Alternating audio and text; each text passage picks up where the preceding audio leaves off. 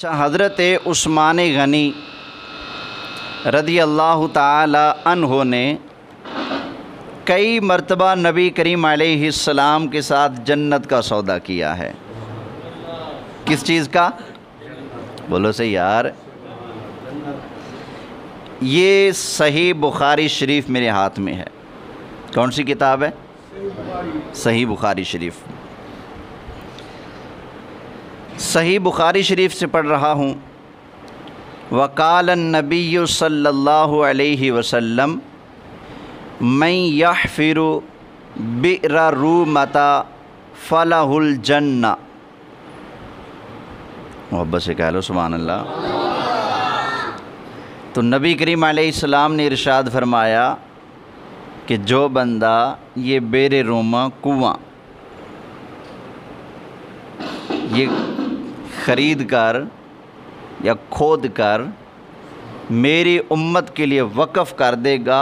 फ़लाहुल जन्ना, फरमाया उसके लिए जन्नत है। उसके लिए क्या है? जन्नत है। तो हज़रत उस्मान गनी ने जल्दी से जाकर वो यहूदी से कुआँ ख़रीदा और कहा, या रसूल अल्लाह ये सारे का सारा कुआँ आका आपकी उम्मत के लिए वक़फ़ किया। जन्नत ख़रीदी कि नहीं ख़रीदी? एक दफ़ा हज़रत उस्मान गनी चादर ऊपर लेकर ना ऐसे बुक्कल मारे हुए जा रहे थे। तो नबी करीम आसमाम ने इरशाद फरमाया फरमाया, जिसका दिल करता है, किसको देखे? जन्नती आदमी को देखे। तो फरमाया कि वो इसको देख ले, जो ये चादर लेके जा रहा है। तो एक शख्स पीछे गया, जाकर देखा तो वो चादर ओढ़कर जाने वाले हज़रत उस्मान गनी थे। कौन थे हज़रत उस्मान गनी रदी अल्लाह तन हो एक मरतबा नबी करीम वसलाम ने जंग के लिए जाना था। तो सख्त कहत साली थी। कोई माल पास था नहीं। तो सरकार ने इरशाद फरमाया, साहबा, जंग के लिए चंदा जमा करो।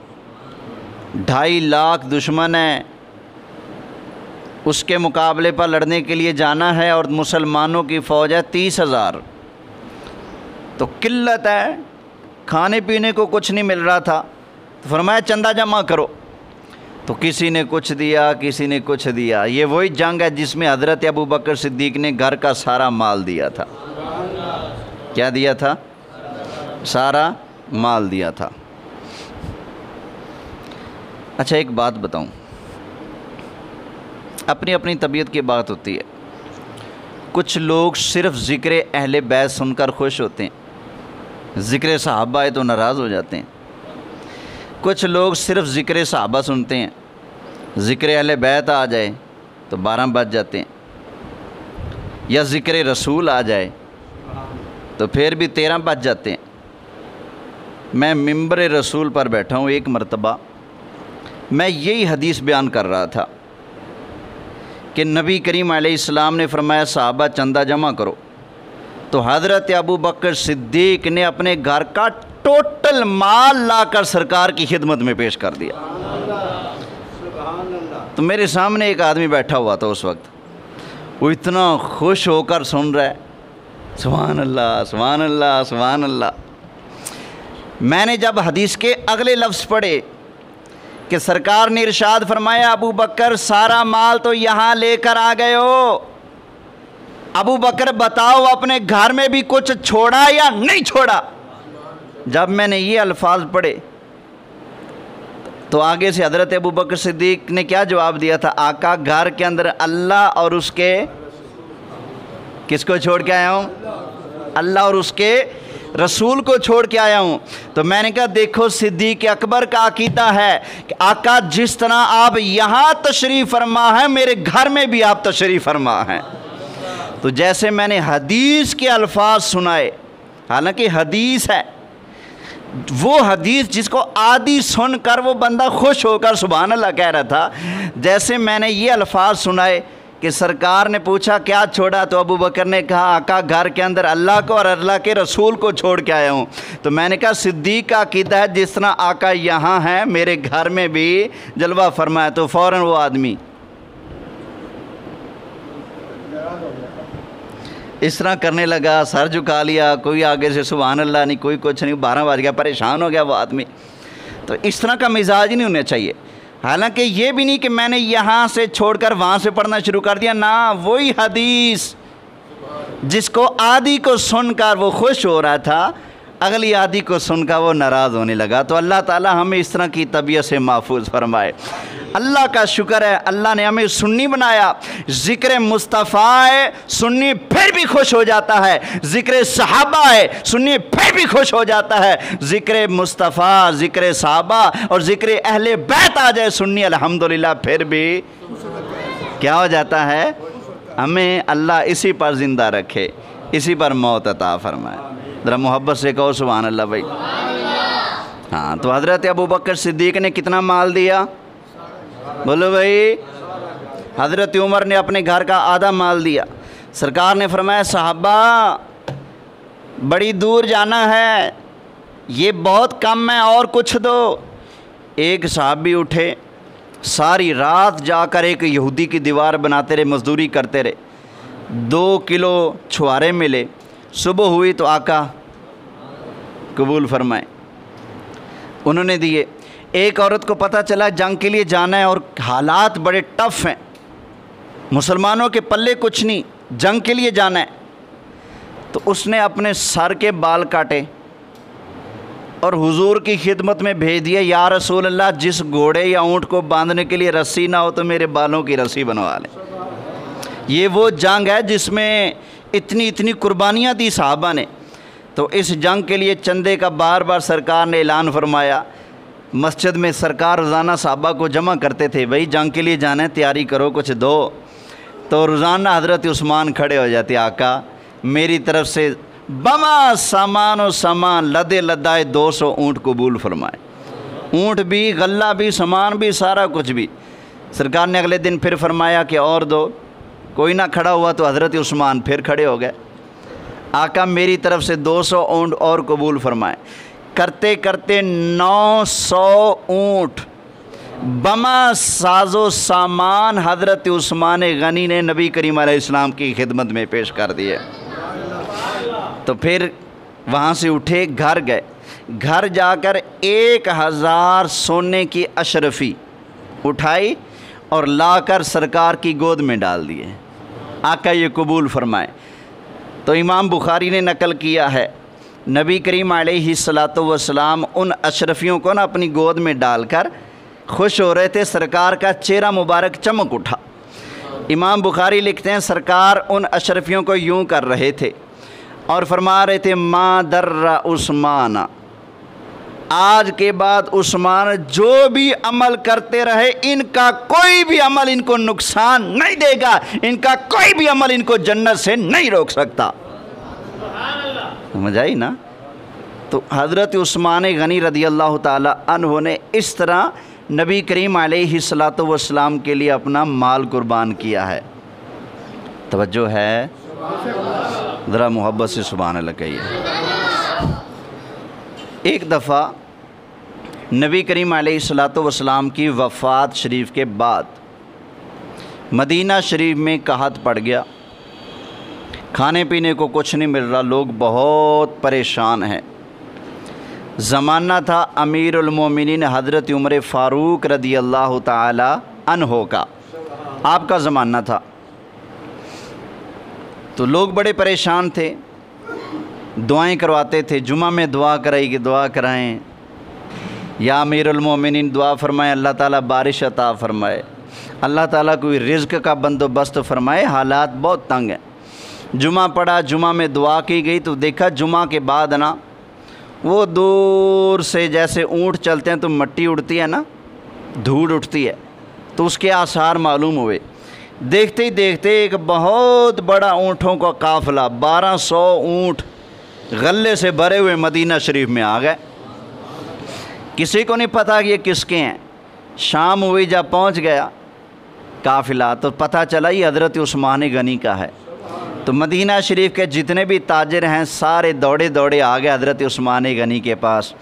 कहने लगे ए उस्मान, मदीना शरीफ के हालात बहुत टफ़ हैं, लोग भूखे मर रहे हैं। तो आपका काफ़िला आ गया सामान का तो ऐसा करें, आपको हम दो गुना नफ़ा देते हैं तो आप ये हमें बेच दें, ताकि हम इसको सस्ता करके लोगों में बांट सकें, तकसीम कर सकें। तो हज़रत उस्मान गनी रदी अल्लाह तन ने इरशाद फरमाया, ना भाई, ना, ये तो थोड़ा है, मैं तो ज़्यादा लूँगा। तो किसी ने कहा, जी, चलो फिर दो गुना थोड़ा है। तो आप तीन गुना कर लो, फरमाया, ना भाई, ना, ये नफ़ा भी कम है, मैं तो ज़्यादा लूँगा। कहा, जी, आप तीन गुना कर लें, चार गुना कर लें, पाँच गुना कर लें। फरमाया, नहीं भाई, मेरा तो सौदा हो चुका है, दस गुना, इससे भी ज़्यादा मैं लूँगा। अगर उससे ज़्यादा कर सकते हो तो बोलो उन्होंने कहा, मदीने के जितने भी ताजर हैं, वो तो आपके सामने बैठे हैं। फिर वो कौन है जो आपको दस गुना से भी ज़्यादा नफ़ा दे रहा है? तो हज़रत उस्मान गनी ने इरशाद फरमाया, सुन लो मदीना शरीफ वालो, वो मेरा अल्लाह है जो मुझे दस गुना से भी ज़्यादा नफ़ा का वादा फरमाता है। तो फरमाया, सुन लो, जितना भी मेरा माल है, सारे का सारा माल मैंने अल्लाह की राह में खर्च कर दिया है। फरमाया, आओ गरीबो, आओ मदीना वालों, जिसको जितना चाहिए, ले जाए, कोई तुम्हें रोकने टोकने वाला नहीं है। तो ये हज़रत उस्मान गनी रदी अल्लाह तहो की सखावत है। अल्लाह हमें भी आपकी सखावत का कतरा आता फरमाए।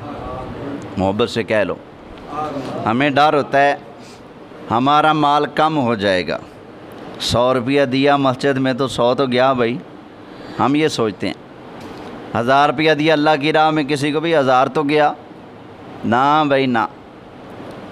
ये सोच नहीं रखनी। ये सोच नहीं रखनी। मेरे आका सल्लल्लाहु अलैहि वसल्लम इरशाद फरमाते हैं, फरमाया, लोगो, अल्लाह की कसम है, अल्लाह की राह में देने से माल कम नहीं होता, बल्कि बढ़ जाता है। क्या होता है? बढ़ जाता है। अगर अल्लाह की राह में देने से माल कम होता तो जिस अबू बकर सिद्दीक ने अपने घर की सुई धागा तक उठाकर दे दिया था। वो तो फिर गरीबड़े हो जाते हैं, लेकिन ना, अल्लाह ने उनको और माल अता फरमाया। जिस उस्मान गनी ने नबी करीम आसमाम की खिदमत में इतना इतना माल पेश फरमाया अगर अल्लाह की राह में माल देने से माल कम हो जाता तो हज़रत उस्मान गनी गनी ना रहते। वो तो गरीब बन जाते, लेकिन कुर्बान जाएँ। हज़रत उस्मान गनी जितना देते थे अल्लाह की राह में, अल्लाह उससे दुगना तिगना उनको अता फरमा देता था। सुनो कुरान, क्या कहते हैं अल्लाह ताला? अल्लाह ताला ने इरशाद फरमाया, मन जा अबिल हसनति फलाहु अशरु अमसालिहा। फरमाया, जो अल्लाह की बारगाह में एक नेकी लेकर आएगा ना, एक नेकी, अल्लाह ताला उस को एक के बदले में दस का सवाब अता फरमाएगा। कितने का भाई? दस का।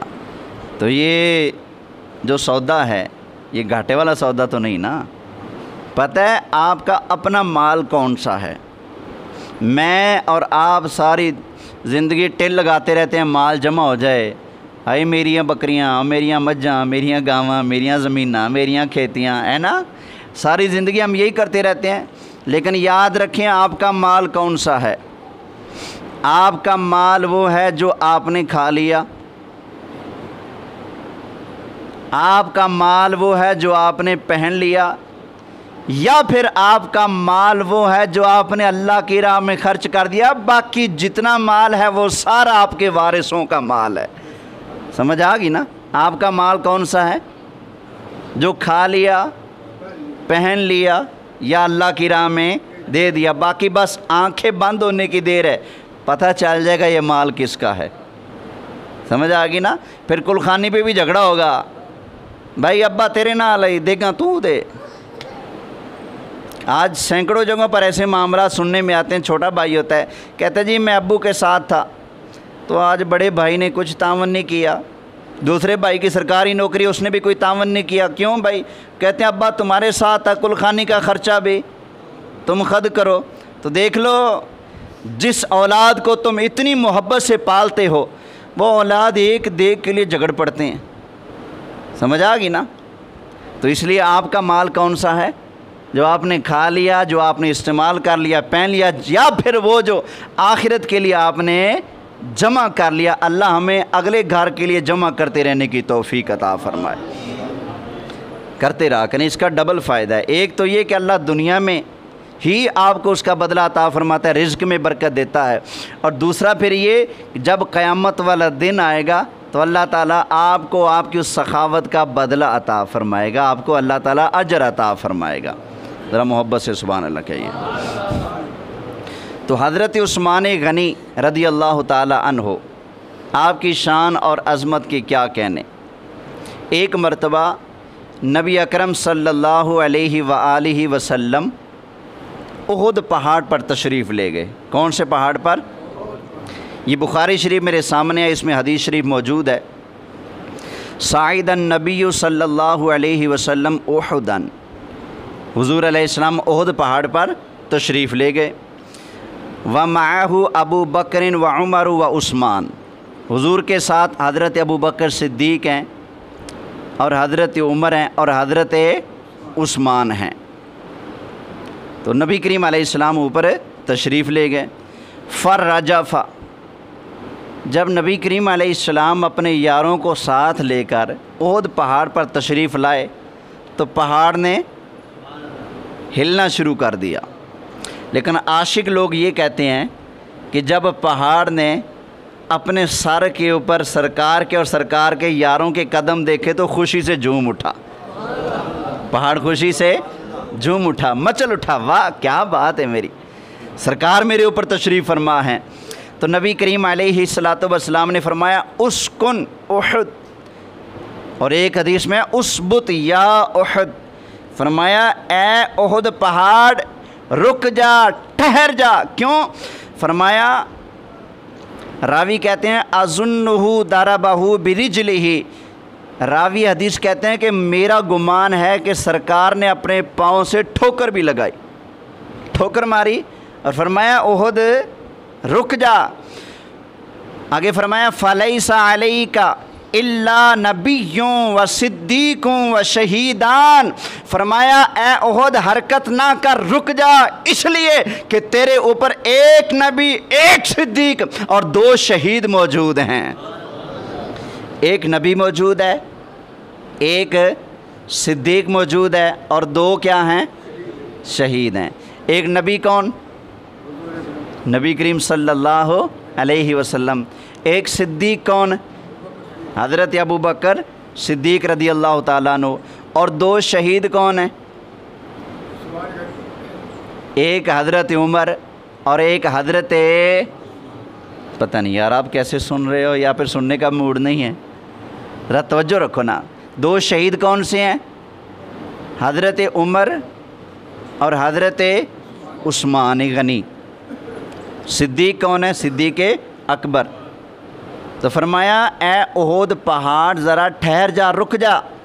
तेरे ऊपर एक नबी, एक सिद्दीक और दो शहीद मौजूद हैं। ज़रा एक बात तो बताओ क्या हज़रत उस्मानी गनी शहीद हो चुके थे?